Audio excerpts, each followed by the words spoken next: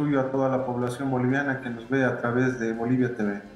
Diputado, me gustaría iniciar con una pregunta de contexto sobre lo que significa este paro y qué idea se va instalando en la población que está defendiendo al Comité Interinstitucional de Santa Cruz. Se habla del Censo de Población y Vivienda como aquello que va a arreglar salud, va a arreglar educación, va a arreglar absolutamente todo en términos económicos en Santa Cruz y en el resto del país. Y ese es un elemento central para poder eh, movilizar además a la población. Asimismo, se habla sobre una repartición de escaños, eh, varios elementos que eh, han estado enarborando desde diferentes plataformas. ¿Cuál es la realidad sobre este censo, sobre lo que logra hacer un censo de población y vivienda, a, qué herramientas aporta y cómo se va modificando el panorama a partir de aquello.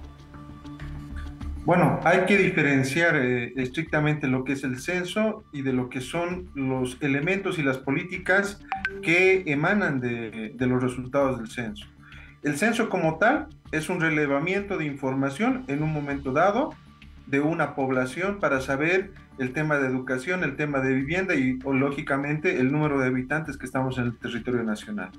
Ese es un primer elemento que sirve de insumos para la planificación de políticas públicas en el mediano y el largo plazo, en lo que corresponde a varias temáticas, eh, además de educación, vivienda y otros, que están relacionados con la eh, planificación eh, del desarrollo económico y social del país. Para eso nos sirve el censo. Los otros elementos que tú mencionabas no resuelven el censo eh, eh, estrictamente o directamente.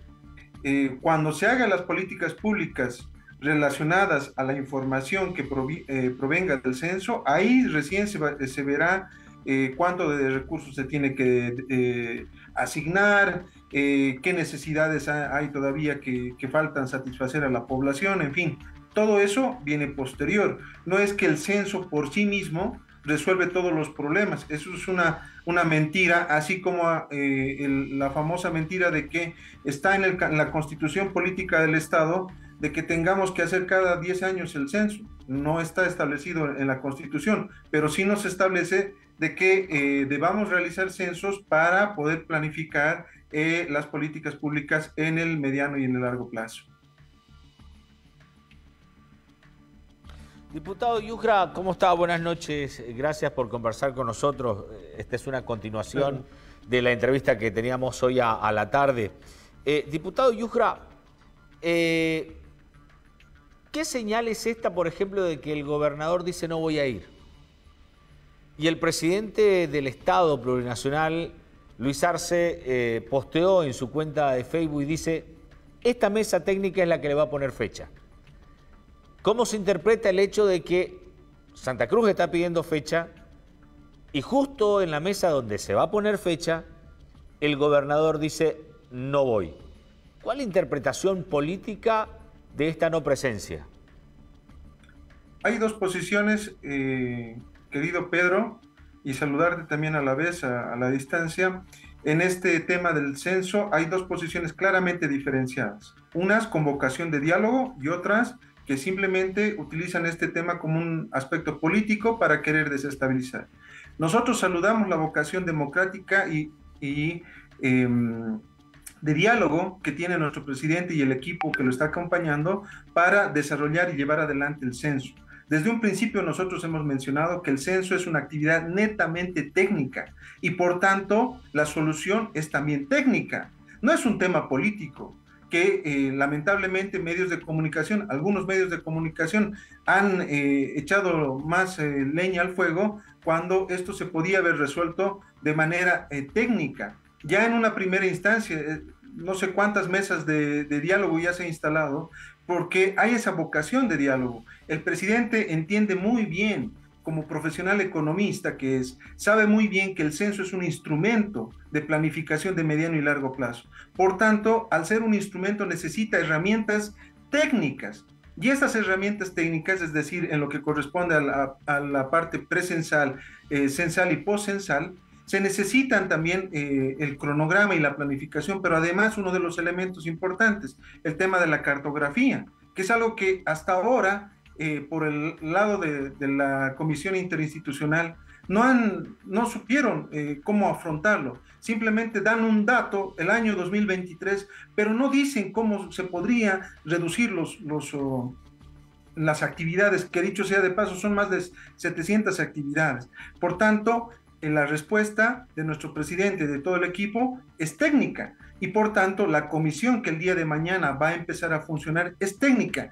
Es técnica no solamente por el Instituto Nacional de Estadística, sino principalmente porque va a acompañar, por ejemplo, el, Fondo de Población de las Naciones Unidas, UNPA, que este, este organismo, por ejemplo, tiene experiencia en más de 130 países en hacer censos. El caso del Centro Latinoamericano y del Caribe eh, de Democracia, eh, CELADE, además de la eh, División de Población de la Comisión Económica para América Latina, CEPAL. Estas instancias son netamente técnicas, querido Pedro y pueblo boliviano, y son en definitiva la instancia que podrá decirnos cuál es el, el cronograma más adecuado para llevar adelante el censo, sin ámbitos políticos, sin que eh, estén eh, algunos eh, actores que realmente han utilizado este tema del censo para otro tipo de fines que creemos y estamos seguros han sido más de desestabilización. Bien, diputado Mar Yugra, un gusto saludarlo, buenas noches. Eh, evidentemente el, el escenario es técnico y los técnicos tienen que explicar en detalle sobre todo cómo se puede hacer un censo el 2023 dentro de los parámetros que rigen una estadística de esta naturaleza en los tiempos necesarios, con la responsabilidad necesaria y, sobre todo, que se pueda llegar en esos tiempos a lograr todo lo que se quiere, un censo con responsabilidad. Y tendrán que escuchar de la otra parte también por qué se ha planteado que sea el 2024, desde el punto de vista técnico, cuáles son los tiempos, la ruta que se tiene que seguir. Y ahí el mejor entendedor verá que es por el bien del país, por hacer un buen censo. Pero seguramente eso lo vamos a ver y lo vamos a escuchar a partir del día de mañana. Mi preocupación y de mucha gente, diputado, es el tema económico. Y usted tiene mucha experiencia en ese tema. Ya van 13 días de paro.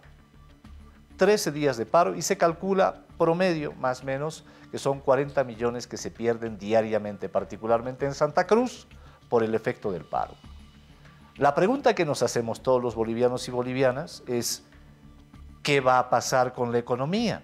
Estábamos en franca recuperación con índices muy interesantes de baja inflación versus lo que está sucediendo en otros contextos internacionales, en otros países con altísimas inflaciones y una recuperación importante del crecimiento económico, mirar hacia el fin de año, mucha gente con la perspectiva de lograr unos pesos más, crecimiento económico, que las familias tengan un poquito más de movimiento. Y claro, ahora es la pregunta es, ¿vamos a poder lograrlo después de 13 días? Y esto parece una continuidad, lo escuchamos a el señor Luis Fernando Camacho, gobernador de Santa Cruz, que dice, vamos a continuar con el paro. Y claro, uno se pone a pensar qué pasa con las familias más humildes en Santa Cruz y con el resto del país y el crecimiento económico. ¿Cuál es su análisis? Totalmente de acuerdo y creo que es una pregunta muy pertinente, Iván. El último trimestre para la población que nos está viendo, el último trimestre de cada gestión es eh, entre octubre, noviembre y diciembre, son los meses donde hay más movimiento en la economía, ya sea para los productores, para los comerciantes, para las familias, en fin. Es el, trimestre donde hay más movimiento en la economía nacional. Hacer un paro de esta magnitud, al margen de lo que tú estás diciendo que representa una pérdida para el departamento de Santa Cruz, también implica que las proyecciones, que el esfuerzo que se estaba realizando en inversión pública, en, eh, personal, eh, en, diferentes aspectos de, de, políticas, programas y proyectos que el presidente ha estado entregando en los diferentes departamentos, en las diferentes provincias, en los diferentes municipios, se vayan de a poco paralizando. Y esto es totalmente negativo para el crecimiento de la economía. Es esta, esta situación no puede ir más allá, porque estamos de acuerdo que gente que tenga plata como el señor Camacho, que tiene millones, empresas, etcétera, etcétera, puede estar parado quizá un año, dos años, pero entendamos que hay población trabajadora, comerciantes, transportistas, la gente eh, del día a día que lleva el pan a su casa con el trabajo del día, ellos no pueden eh, estar paralizados. Y es algo que no se está comprendiendo en su total eh, cabalidad, porque los efectos de Santa Cruz también eh, van a tener, perdón, lo que está sucediendo en Santa Cruz va a tener también los efectos a nivel nacional y esto es contraproducente a todas las políticas y a todo lo que estábamos generando en cuanto a la recuperación de la economía nacional.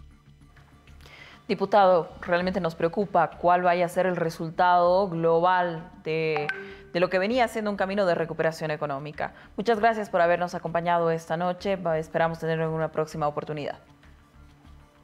Como siempre, Camila, Iván, eh, eh, eh, muy contento de estar en el programa, por el espacio que me brindan y pues nuevamente el agradecimiento y será hasta cualquier otro momento. Así es, diputado. Bien, momento de poder continuar con una actualización en vivo de la información, nos vamos a trasladar hasta Cuatro Cañadas junto a nuestro compañero Jair Siviora, quien se encuentra precisamente con el alcalde de